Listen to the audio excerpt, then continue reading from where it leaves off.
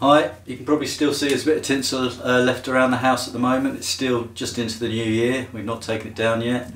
Um, I thought I'd do a little video on making a collapsible or folding buck saw. I've not got one. Um, what I'm going to do is follow Simon the Bloke in the Woods instructions on a video he made about five years ago. Um, I'm going to do it slightly differently. Um, don't need too much equipment. It's going to be a bit rough and ready to start with and maybe I'll hone it down and sand it in a later video. So, uh, unlike Simon, he used ash, and ash tends to be used for handles and all sorts of kind of uh, for tools. I'm not going to do that. I'm going to use a, um, a wood that grown grows a lot locally called the hornbeam, and hornbeam is very like beech. Beech can be used for handles and other types of tool, uh, but hornbeam is different. It's very very slow growing. So historically, it's always been used for things like um, cogs and things in mills. It's very hard wearing. I just hope that uh, it's not going to be so hard wearing that I'm going to have to struggle to cut it with a knife or an axe. So that's what this is. So I've got four bits. Uh, this is going to be the main uh, bar, horizontal bar going across. And I've got two smaller pieces that are going to end up being the handles. Um, the saw blade's obviously going to go at the bottom underneath uh, the horizontal part and then at the top you use paracord or string which you wind um, and you tighten with a wooden winder in the middle. So yep, I bought a 24 inch um, blade from Wickes, the local DIY store. Looking at it now it does look very big. Um, you can obviously get other sizes as well. I think they do a 21 inch which probably might be more appropriate. So um, this obviously when it uh, the idea is that it all collapses and folds up into a bag or somewhere easier to store than the actual final um, saw itself. But basically it's going to be based on you can't get any shorter than that 24 inches. So that and the wood combined in your rucksack is still a fairly um, sizable item that needs to be put away. So what I need to do to start with is just debark some of the, so I'm going to start on a slightly smaller piece um, and I need to baton it up a bit like this piece of firewood here, just take um, a couple of the sides off to square it up so we're not after a square because realistically if you think about this being a handle it's actually very comfortable in the round um, but I need to take some of the weight off and obviously if we kept it this size it would be a a massive great thing that it's probably going to be too heavy to use. So that's very comfortable in your hand. If we squared it off, you know, when you're putting pressure on that, each corner, each of those four corners is going to dig into your hand, so it's not ideal. So maybe having a rectangle with the longer side, you know, pointing along the length of the saw and the shorter edges into your hand, with those kind of rounded off, that's probably the better profile to go for. So, a, so a rectangle. So you're going to take two longer sides off and then two shorter sides. So you can either baton that off with a knife you can do it with an axe. So um, I'm going to try with the axe to start with. Stir it up I think. Oh.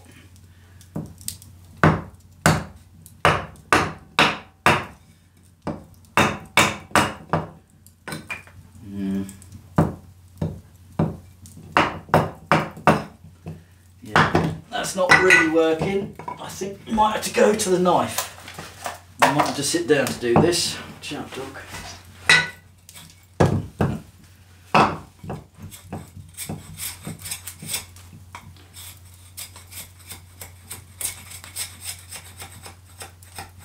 I can do this at the moment because my wife's away for a couple of days.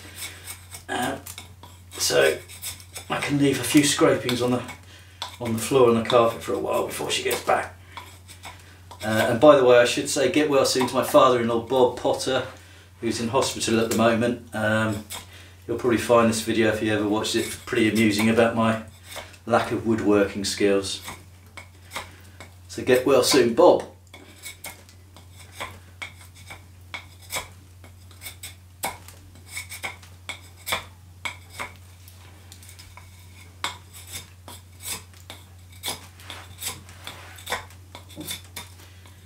Should also apologise for the state of my trousers. Don't normally walk around in uh, clothing with half of my uh, body popping out of it, but there you go.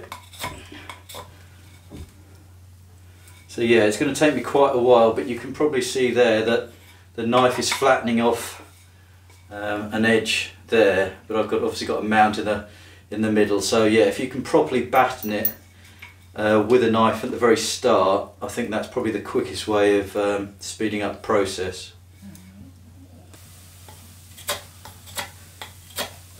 So what I found was, um, obviously it's not ideal working in your in your lounge. Really you do need quite a large chopping block if you're to use the axe and I can't really do that in here. Uh, the other thing I've learned is don't do this by an open fire because it's absolutely boiling. Um, the other thing I've noticed is, yeah, as much as I said square it off, because you're obviously reducing the volume of the wood and in, in the end you want a lighter product, but I, what I've just been doing all the time is just feeling it in your hand. Um, see that doesn't feel quite as comfortable as that to me and there's a slight bulge out into my palm. There's a kind of palm swell as if you would have it on a on a rifle stock. So you know just little things like that might be of benefit. So I think I might retain this as my as the right hand as the main uh, handle that I would use because of it. it's got slight swelling there so I think I might try and maintain that thickness in the middle and maybe take some of the um, the top and the bottom bit off but certainly I'm I'm having to uh, to use the knife more than I am the axe so um, it's going to take me a bit more time I think. I'm lucky in that uh, there's only a couple of little knots on this short section I got here. And the hornbeam that I chose was quite a young hornbeam, probably 10 years old. Uh, and it's grown quite straight so it hasn't got too many of these sort of little knobbly side branches on that do produce knots in the longer term. So yeah I'm going to keep on nibbling away with the knife and then we'll come back in a minute.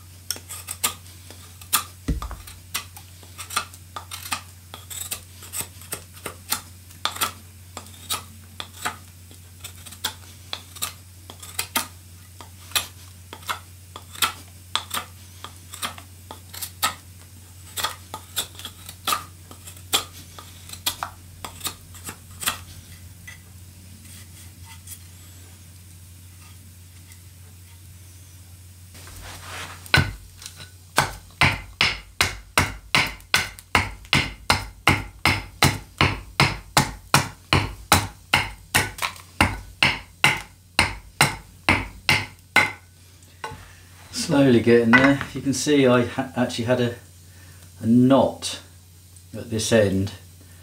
Um, it's where a twig would have been growing out, a little side branch. Um, and you always get some sort of burring underneath the bark in the um, in the wood underneath. So uh, whether that's going to make a difference or not, whether I need to cut it down and make it into a 21 inch um, saw, I don't know yet. So I'm still shaping it. So this is the thing that's taken the the time the longer bar. I've done the other two handles um, so it's and the uh, and the twister. Um, so it's yeah it's just a case of doing this. So yeah it's getting there. It's getting the shape. And it's not too far off being square. So uh, yeah I think once I've done this I might call it quits for this evening. Um, yeah, because it's taken a bit longer than I expected. Well, you can see I'm getting there now. These are the uh, widths of the, the two handles, so they're not too far off. So yeah, I've managed to do this one with the axe. Uh, I don't think I've used the knife at all on this, and obviously it takes its time because I'm having to be careful of the the lounge, the carpet, and other bits and pieces and now I'm getting to the stage where I've almost got the thickness I've got to be very careful that I don't kind of crack through it now and um, waste all that time and effort so yeah, I'm quite happy with that so far. Um, another sort of 10-15 minutes getting the squareness back and the just making sure that the thickness does match up with the other two and um, I think I'll call that quits. But what I need to do now is mark out where the tenon joints are going to be so um, you need to offer up the saw blade so that the outer hole is on the outside of this upright so I'm just going to keep it along the edge there.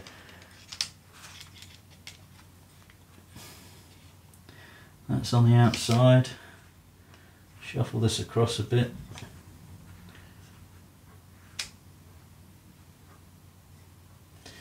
Right, now I'm just going to mark on a line there. A line there. Take those two away obviously this is excess here so I'll cut that off in a minute but what you need to do now is just take that line and that line and draw it all the way around the piece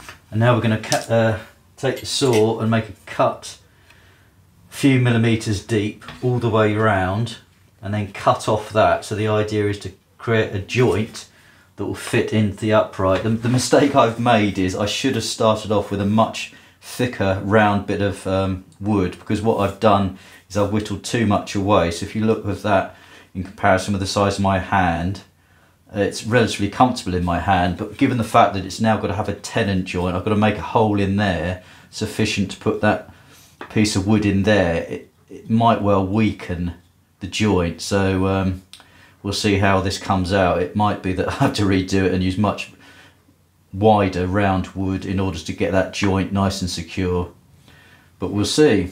It's all an experiment.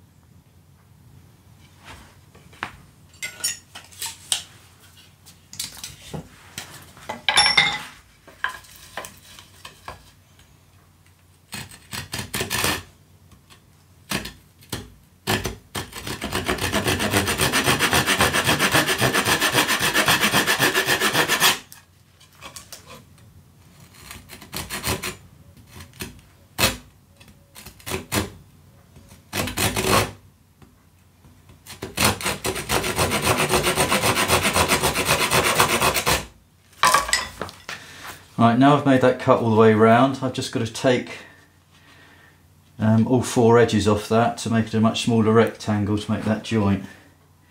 So I'm going to use my knife and gently tap with a piece of wood. So that's the idea, just to gradually whittle it down. But I've got to be careful here that I don't take too much off or the wood splits.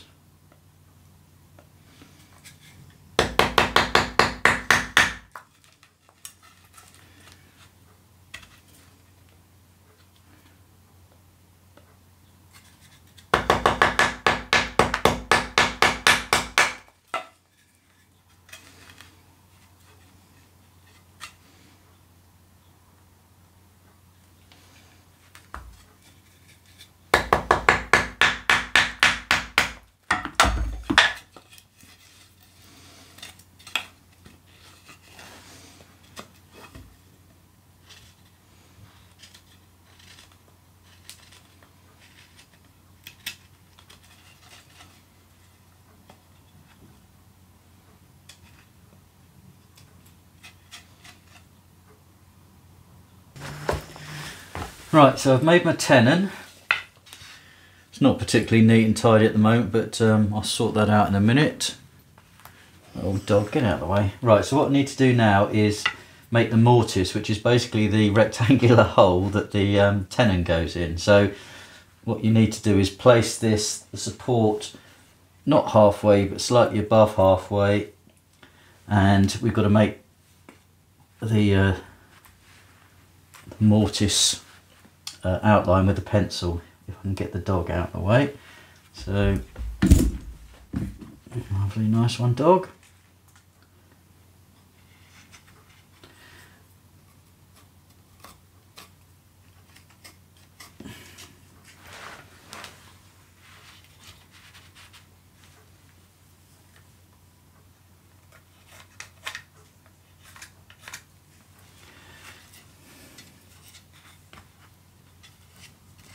And then we need to do the width.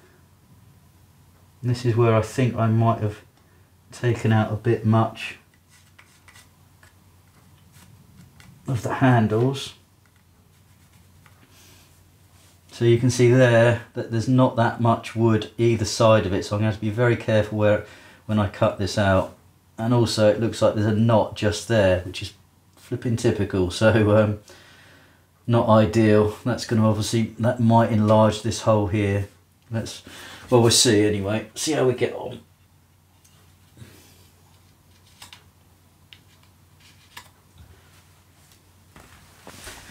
So I'm going to use my knife to just cut out this hole.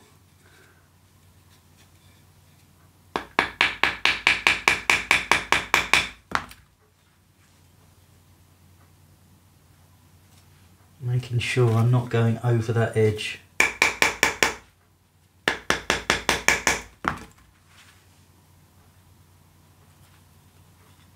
Because I don't want that side bit to split.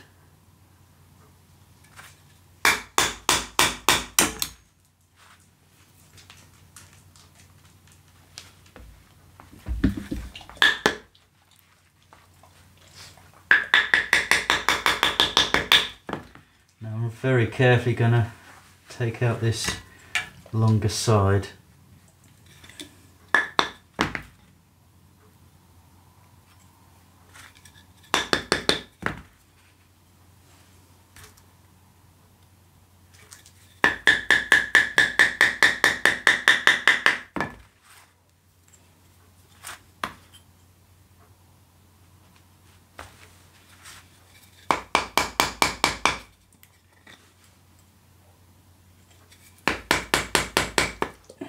was trying not to chop nose off at the same time.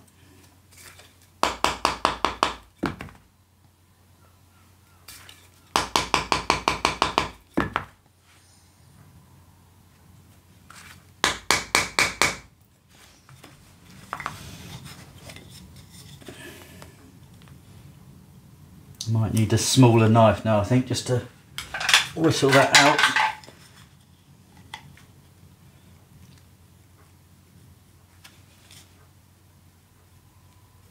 So this is the fiddly bit. This is going to take me a few minutes, I think, to, to get this out.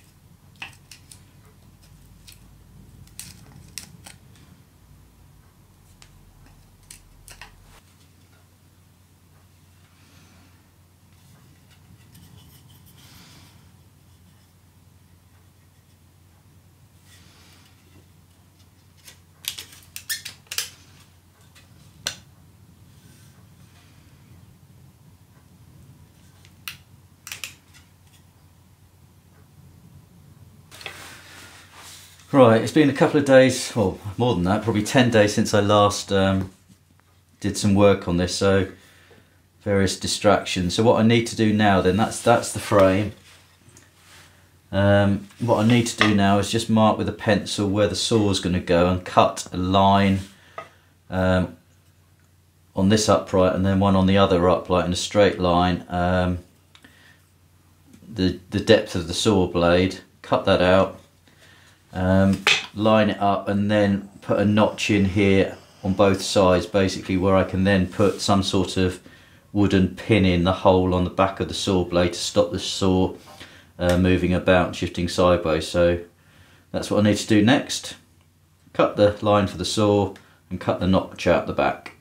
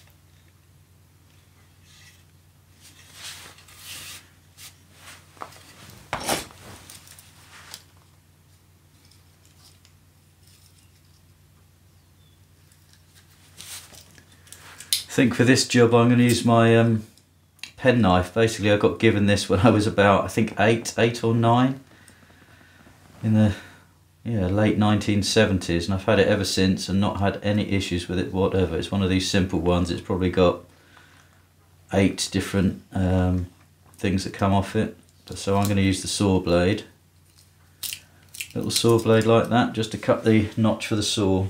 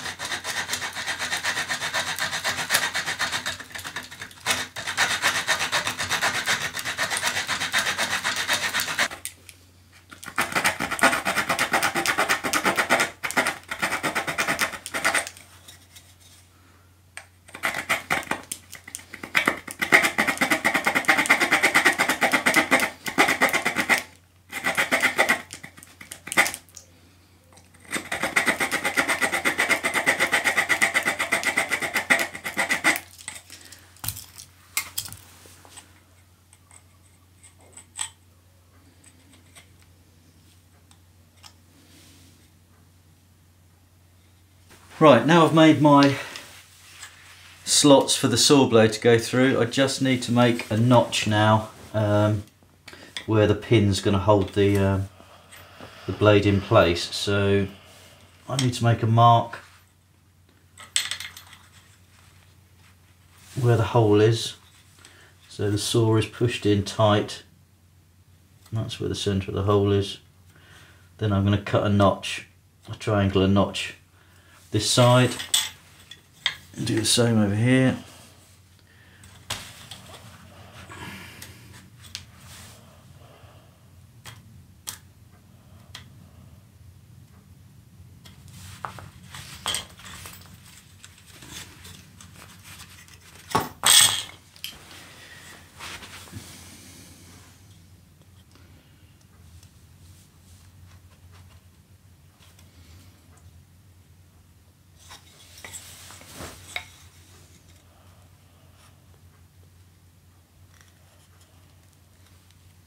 cut a notch out here.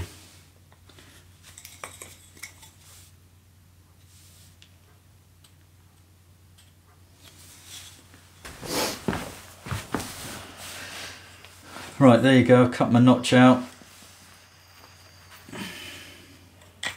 So the saw goes there, and then all we've got to do is make a pin to go in that hole there, and then hopefully it'll sit in the notch.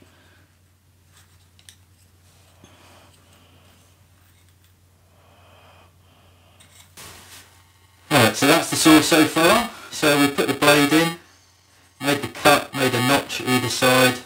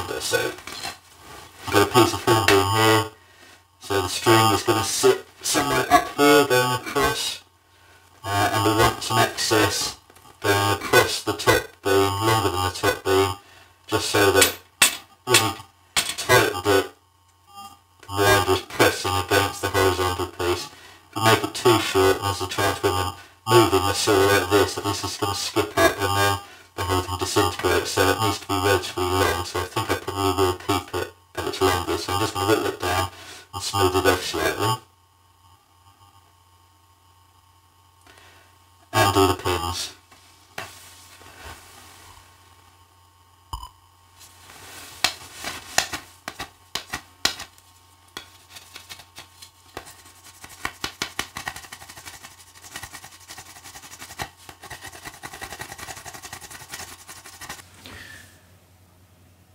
Okay, now I've cut my pegs, just roughly cut two round pegs to put in the holes.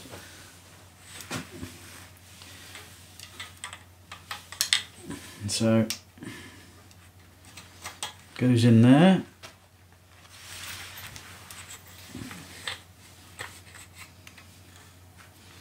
This one goes in there. And then the notch is going to hold that tight in place when we uh, tension it via the cable.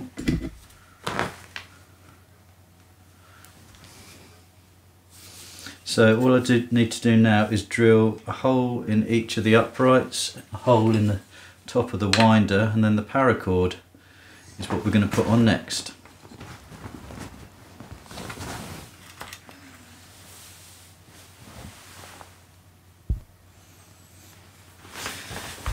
Ideally what you need is a Scotch auger, um, which I haven't got, so I've got a, um, a manual drill bit here which I'm going to stick in a socket. Uh, see how this goes, it's way, way too long. Ideally I need this part here, the handle here somewhere, so uh, yeah, this might be a bit, uh, a bit wrong.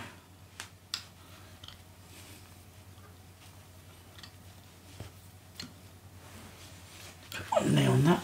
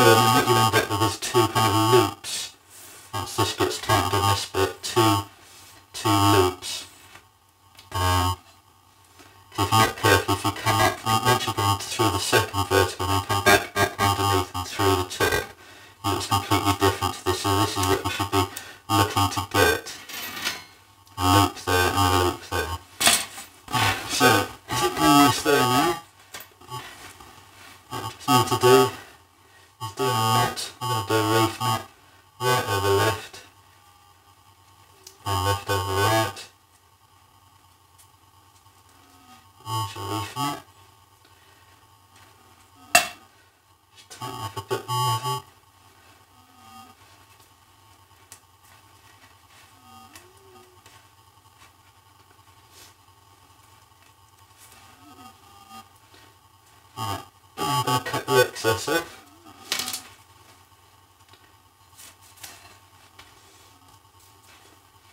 Seal the end.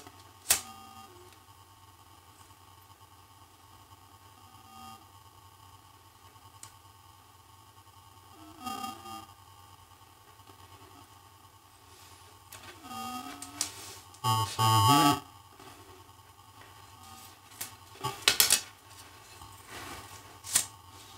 might have to just repack these to make them um, shorter if, it, all the time.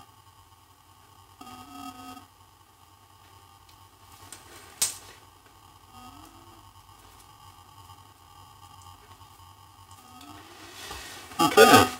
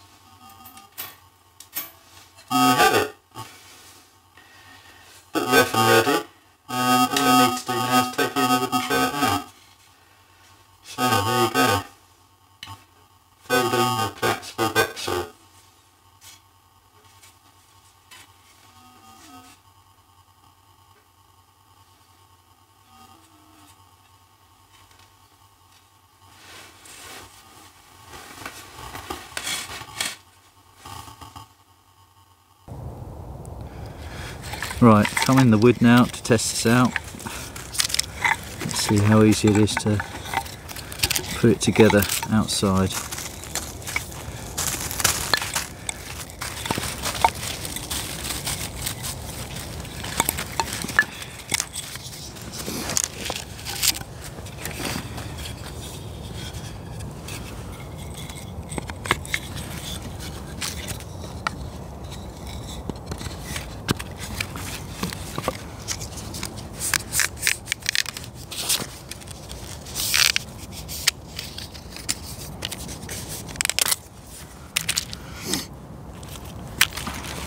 Oops.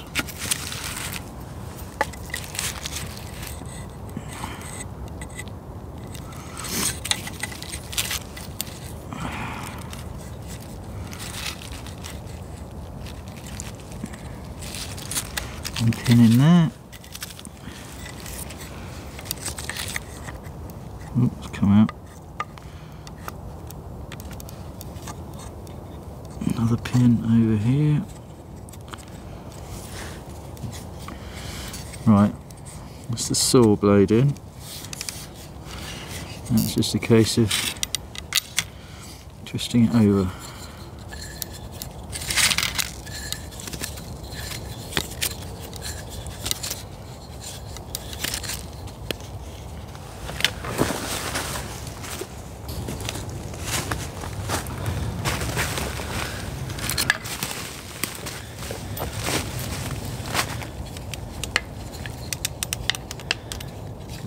can pinching together. Tuck that in there. Don't know quite whether that's tight enough yet, but pins are in either side. Maybe a bit more.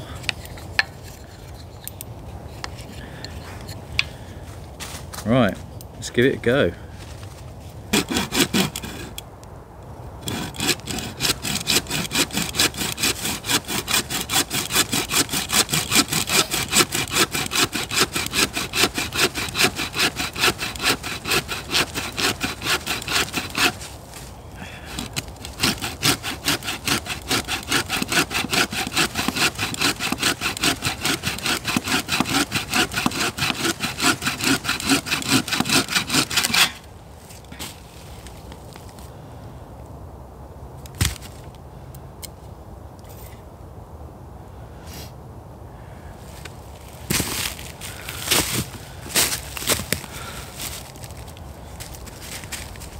Think I'm going to keep it a bit like that. Um, it's a bit rough and ready, but certainly usable.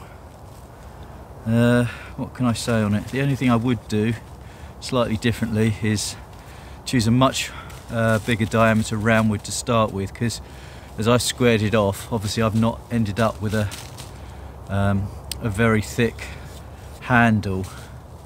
Um, so there could be weakness there. I don't really know. It depends on the type of wood that you chose maybe to start with as to how strong it was going to be.